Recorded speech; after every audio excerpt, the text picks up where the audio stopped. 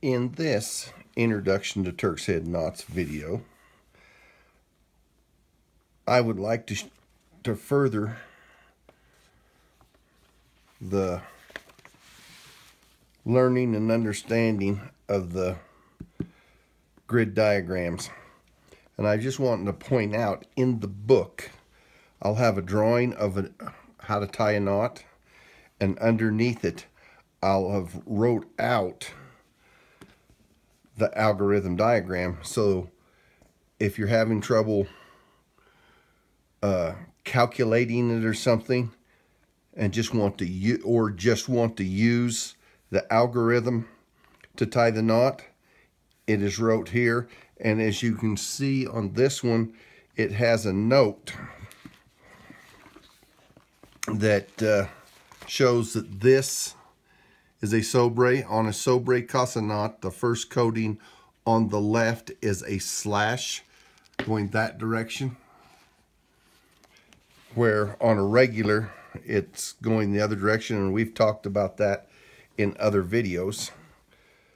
The next, on this one, I not only, I did the drawing of the five part, three bight sobre casa knot, and this is the algorithm diagram for it. But if you continue the raising process, the next knot is a nine part five bight sobre casa, and there is the algorithm diagram for it. On a seven part three bight casa knot, here's the drawing for the seven part three bight casa knot. It's a regular. There's the algorithm it if you use the enlargement process the next knot would be an 11 part 5 bight and there is the algorithm drawn out on it. Then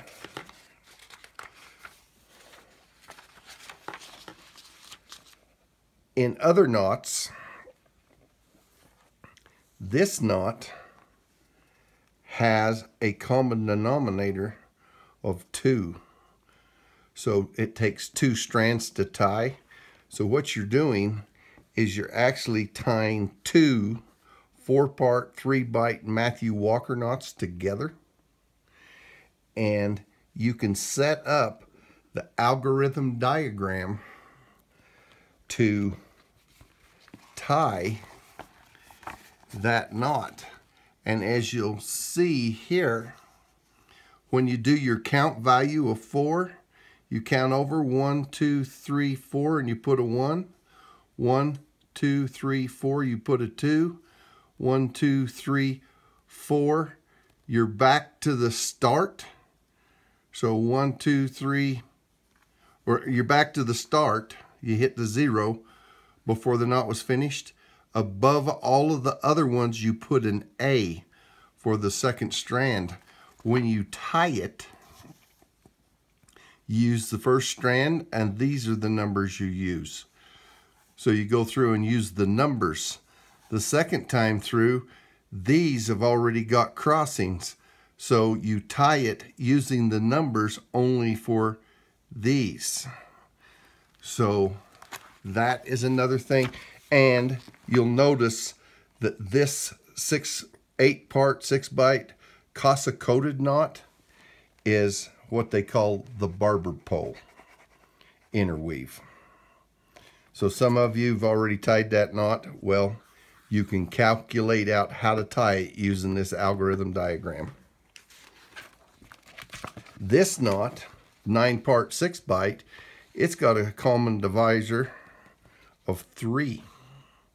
So it takes three strands to tie this. And so we're tying this knot from three, three part two bight casa knots. And the same thing here, we have our count value of three and we count over one, two, three.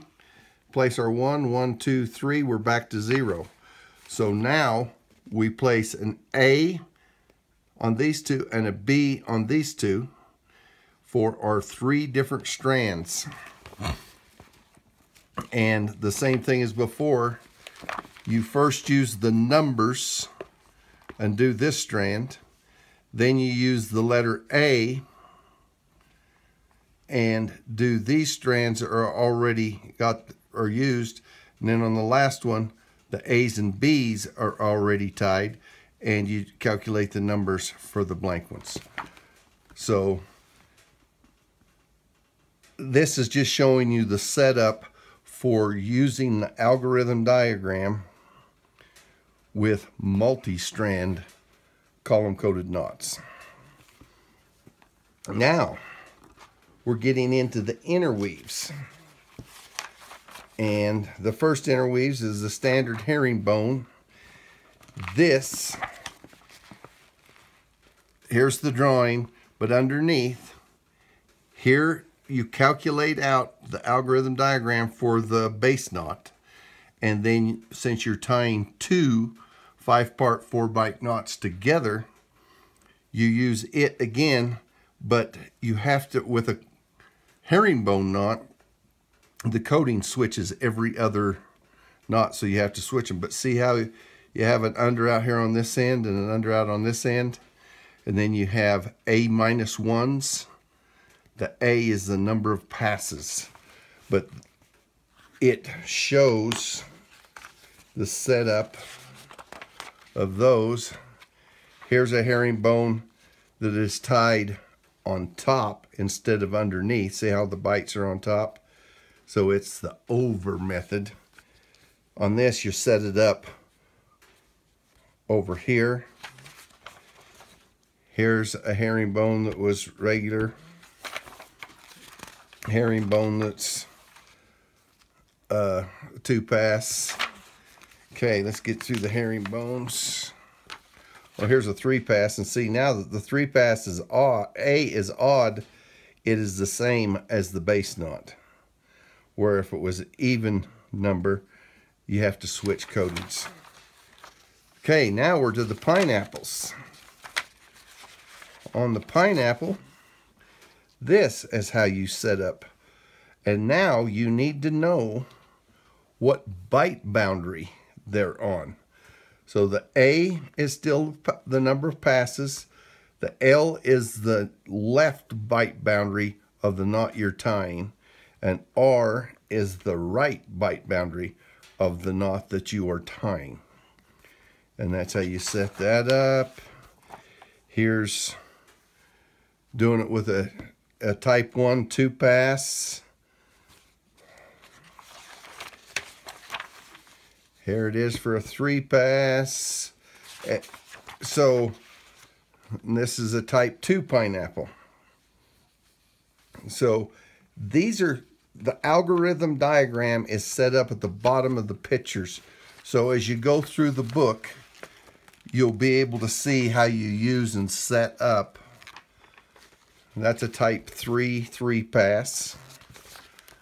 Okay, Sobre pineapples. That's how you you can see how you set those up. Uh, this is a herringbone pineapple knot. Horn knot. You can see how you set up a horn knot. This is a hood knot. You can set up the algorithm diagram for a hood knot. So I just wanted to show you that there is many ways that you can set up. This is a hood knot.